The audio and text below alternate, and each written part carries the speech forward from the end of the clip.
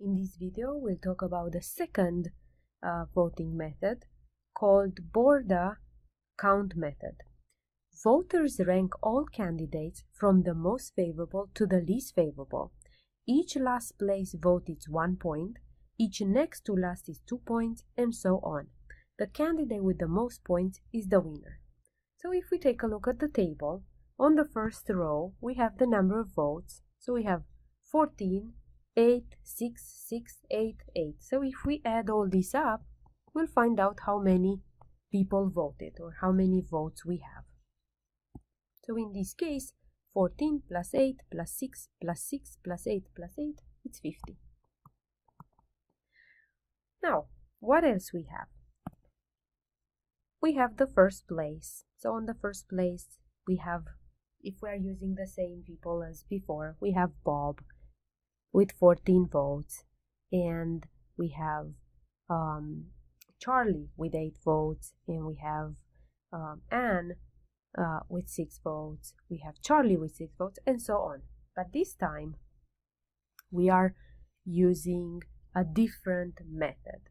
So basically, for third place, we will put one point. For second place would be two points. And first place would be three points. So we uh, add one starting with the bottom. The lowest um, the last place or the lowest place would be one point and then the place before that is going to be um, two points and so on so now this is how we are going to add the points now Bob let's start with Bob because B is the first letter here Bob is it has 14 votes and then times 3 because we have he has 3 points on this position. Then plus, now Bob has 8 votes on the second place, which means 2 points. Plus, Bob has 6 volts votes on the third place, so it's times 1 point. Then Bob has 6 votes times 1 point plus Bob has 8 points, 8, it's 8 votes on the second place, so we put 2 points, plus Bob has 8 votes on the first place, which is 3 points. So if we compute all this, we'll get 110. Please double check my computations. Now let's look at Charlie. So Charlie, I'm going to color code it in green.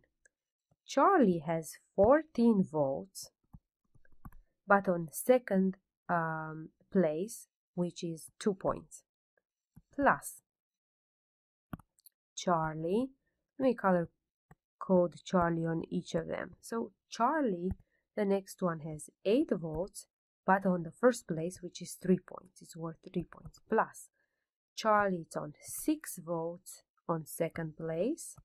Then it's on first place with 6 votes. So 6 votes, 3 points. Plus 8 votes on third place, which is equivalent of 1. And then 8 votes of 1 point again. And the total is 98. and then Anne or Anna. I don't remember. Um, Anna, I'm going to color code it with purple.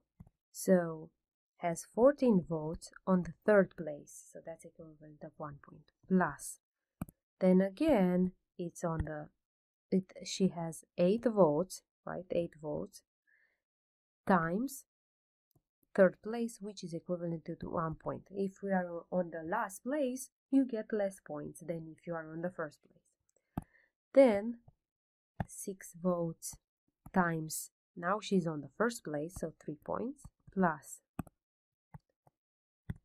6 votes on the second place, which it's a coincidence that second place uh, it's uh, two points. It doesn't mean that uh, they have to be the same or anything. Then is on eight votes on first place, which is equivalent with three points, plus eight votes with second place. So the total is 92. So the candidate with most points is the winner. So in our case, 110, 98, 92, the winner is Bob.